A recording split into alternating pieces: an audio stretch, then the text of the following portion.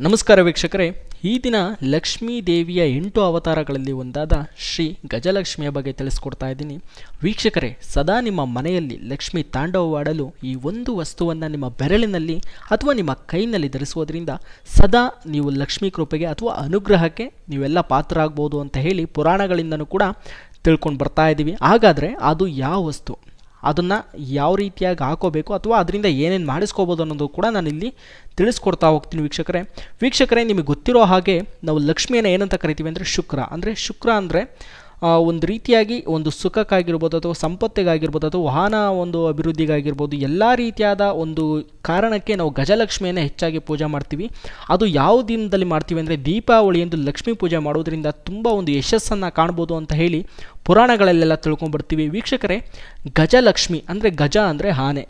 ಈ ಪುರಾಣಗಳ ಪ್ರಕಾರ ಹೇಳೋದಾದರೆ, ಈ ಒಂದು ವಸ್ತುವನ್ನು ಧರಿಸೋದ್ರಿಂದ ಅದು ಯಾವ ವಸ್ತು ಅಂದರೆ ಒಂದು ಆನೆಯ ಒಂದು ಬಾಲದ ಕೂದಲು. ಈ ಒಂದು ಕೂದಲಿನಿಂದ ಮಾಡಿರ್ತಕ್ಕಂಥ ಯಾವುದೇ ವಸ್ತು ಆಗಿರ್ಬೋದು ಅಥವಾ ಉಂಗುರವಾಗಿರ್ಬೋದು ಅಥವಾ ಬ್ರಾಸ್ಲೇಟ್ ಆಗಿರ್ಬೋದು, ಈ ಒಂದು ಉಂಗುರವನ್ನು ಧರಿಸೋದ್ರಿಂದ ಯಾವ ರೀತಿಯಾಗೆಲ್ಲ ನೀವು ಯಶಸ್ಸನ್ನು ಕಾಣ್ಬೋದು ಅಂತಲೂ ಕೂಡ ನಾನು ಹೇಳ್ಕೊಡ್ತಾ ಇದ್ದೀನಿ ವೀಕ್ಷಕರೇ. ವೀಕ್ಷಕರೇ, ಇದು ಆನೆಯ ಬಾದ, ಆನೆಯ ಬಾಲದ ಕೂದಲಿದು. ಇದರಿಂದ ನೀವು ಒಂದು ಉಂಗುರವನ್ನು ಮಾಡಿಸ್ಕೊಂಡ್ರೆ ಈ ಉಂಗುರವನ್ನು ನೀವೆಲ್ಲಿ ಧರಿಸ್ಕೋಬೇಕು ಅಂದರೆ ನಿಮ್ಮ ಈ ಒಂದು ರೀತಿಯಲ್ಲಿ ಈ ಬೆರಳಿಗೆ ಮಾತ್ರ ನೀವು ಧರಿಸ್ಕೋಬೇಕಾಗತ್ತೆ.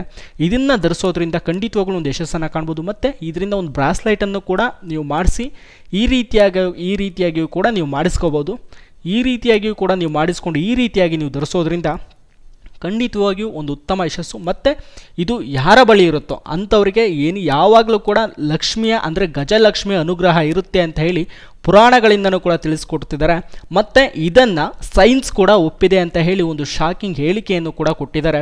ಒಂದು ಎಲ್ಲ ರೀತಿಯಾದ ಒಂದು ಶಾಸ್ತ್ರದ ಶಾಸ್ತ್ರದವರಾಗಿರ್ಬೋದು ಅಥವಾ ಎಲ್ಲ ಒಂದು ಗಣ್ಯರು ಅಥವಾ ಎಲ್ಲ ವಿದ್ವಾನರು ಇದನ್ನು ಎಲ್ಲರೂ ಕೂಡ ಸರಿ ಅಂತಲೇ ಕೂಡ ಒಪ್ಪಿದ್ದಾರೆ. ವೀಕ್ಷಕರೇ, ನಾನು ಹೇಳೋದಿಷ್ಟೇ, ಇದನ್ನು ಧರಿಸೋದ್ರಿಂದ ಖಂಡಿತವಾಗ್ಲೂ ಒಂದು ಅನಾಭಿವೃದ್ಧಿ ಆಗಿರ್ಬೋದು ಅಥವಾ ಶ್ರೀಮಂತರಾಗಬಹುದು ಅಂತಲೂ ಕೂಡ ಹೇಳ್ಬೋದು ವೀಕ್ಷಕರೇ. ವೀಕ್ಷಕರೇ, ಇದೇ ರೀತಿಯಾಗಿ ಮತ್ತೆ ಮುಂದೆ ಒಂದು ಹೊಸ ವಿಷಯಗಳೊಂದಿಗೆ, ಮತ್ತು ಹೊಸ ಒಂದು ವಿಡಿಯೋಗಳೊಂದಿಗೆ ಮತ್ತೆ ನಾವು ಬರ್ತಾ ಇರ್ತೇವೆ. ಅಲ್ಲಿವರೆಗೂ ನೀವು ನೋಡ್ತಾ ಇರಿ, ನಮ್ಮ ಚಾನಲ್ ಅಂತ ಹೇಳ್ತಾ, ಮತ್ತೆ ಸಬ್ಸ್ಕ್ರೈಬ್ ಮಾತ್ರ ಮಾಡೋದು ಮರಿಬೇಡಿ ಅಂತ ಹೇಳ್ತಾ ನಾನು ಇವತ್ತಿನ ಒಂದು ಕಾರ್ಯಕ್ರಮವನ್ನು ಮುಗಿಸ್ತಿದ್ದೇನೆ. ನಮಸ್ಕಾರ.